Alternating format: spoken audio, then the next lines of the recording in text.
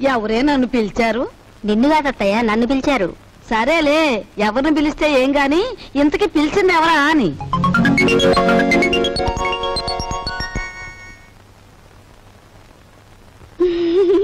ఎవత్వే నువ్వు? ఎవరంటే ఏం చెప్పంటారండి పొట్ట చేత్తో పట్టుకుని వచ్చాను. నువ్వు చేత్తో పొట్టే పట్టుకొచ్చావో చీపురు కట్టే పట్టుకొచ్చావో మాకెందుకు గాని? ఇంతకీ నువ్వెవరు? ఎందుకు వచ్చినట్టు? అసలు నేను ఎందుకు వచ్చాను? ఆ అన్నట్టు అసలు సంగతి మర్చిపోయాను. ఆ, ఈ చీపురు పట్టుకోండి. పట్టుకోండి. ఓసి నీసం పత్తేగా. చేతికి చీపురు కట్టించి కాళ్ళకి దండం పెడుతున్నావు. ఇంతకీ నువ్వు ఎందుకు వచ్చావే?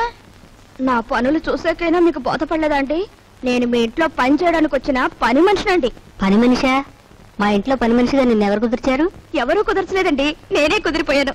మాకే పని మనిషి వద్దు గాని దయచే అంత మాట అనకండి. ఆ మహారాజు బతుకున్నప్పుడు ఎందరో పని మనుషులున్న వంశం మీది. మీ ఇంటికి నేనే బరువైపోతానా? పార్వతి లాంటి మీరు. మహాలక్ష్మి లాంటి అమ్మగారు ఉంటున్న ఇంట్లో పనిచేయడానికి నేనెంత పుణ్యం చేసుకొని ఉండాలండి? చూడమ్మాయి మాకు పని మనుషులు అక్కర్లేదు. నువ్వు మరో ఇల్లు చూసుకో. అదేం మాటే. ఒళ్ళొంచి పని చేయటంతో పాటు నిజం మాట్లాడే మనుషులు మనం కావాలంటే దొరకొద్దు. నువ్వు ఈ ఇంటి పని అంతా ఒక్కదానివే చేస్తున్నావు. పోనీ ఉండని. ఇదిగో చూడు. నువ్వు బతిమాలావు గనక మంచి పిల్లలా కనిపిస్తున్నావు గనక నీకు ఈ పని ఇస్తున్నాను. నీకేం కావాలో చెప్పు. నాకేం కావాలండి? రెండు పూట్ల భోజనం రెండు పూట్ల టిఫిన్ పెడితే చాలండి. అమ్మో రెండు పూటలు భోజనమా? నేనెంత తింటానండి? నాలుగు ముద్దలు ఇంతే. పోనీ అలాగే కాని. అత్తయ్య రెండు పూట్ల భోజనానికి టిఫిన్కి ఎంత లేదన్నా పది రూపాయలు అవుతుంది. అయితే అయిందిలేవే పది రూపాయలేగా? ఎనిమిది రూపాయలు నీ రోజుకోలే ఇదిగోనయ్యా ఇదిగో రేపటి నుంచి ప్యాంటు షర్ట్ వేసుకోవచ్చు కాదు. పంచి కట్టు కట్టుకుని రా.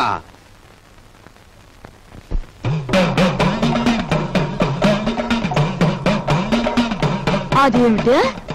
ఏదో అమ్మవారి కుమ్మం పోసినంత అన్నం పెట్టుకున్నావు? అదంతా తినడానికేనా?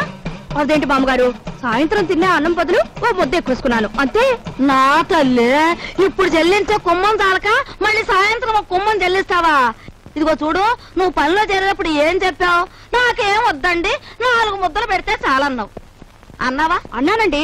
కూరతో నాలుగు ముద్దలు పప్పుతో నాలుగు ముద్దలు చారుతో నాలుగు ముద్దలు పెరుగుతో నాలుగు ముద్దలు. మొత్తం ఎంతైందండి నా పిండ కూడా అంత అయ్యింది. నువ్వెంత దెయ్యపు తిండి తింటావని తెలిస్తే నిన్ను అసలు పనిలోనే పెట్టుకునేదాన్ని కాదు. అత్తయ్య పెట్టేది పెడుతూ మాటలంటుంది దేనికి? పాపం ఇంటి పని అంతా ఒక్కతే చేస్తాంది. ఈ పెరుగు కలుపుకో. తినమ్మా బాగా తిను. అమ్మో. అమ్మో. పోసి నీయమ్మ కడుపు మాడా. నా కళ్ళు ఏమన్నా దిష్టి కళ్ళు అనుకుంటున్నావా? నా ఏం దిష్టి కళ్ళు కావమ్మా.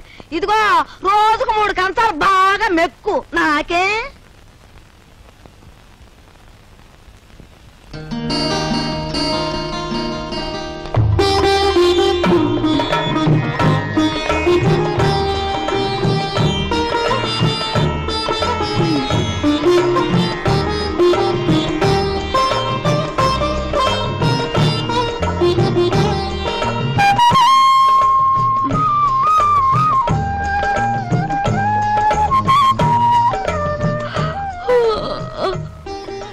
అదేంటది? ఆ చూపేంటి? ఎప్పుడు ఆడదాని ముఖం చూడనట్టు. ఎవరు నువ్వు నాయనా అన్నయ్య?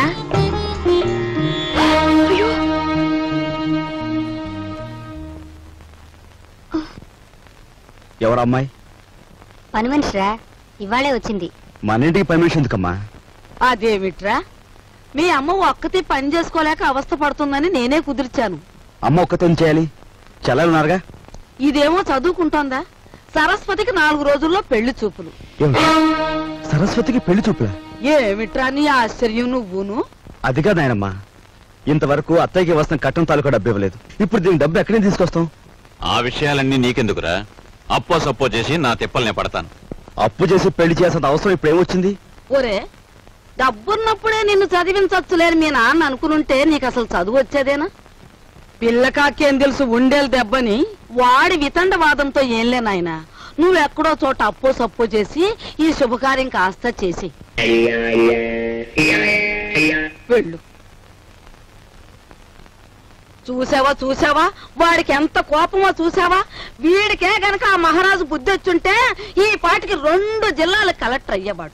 రెండు జిల్లాలకి. ఆ.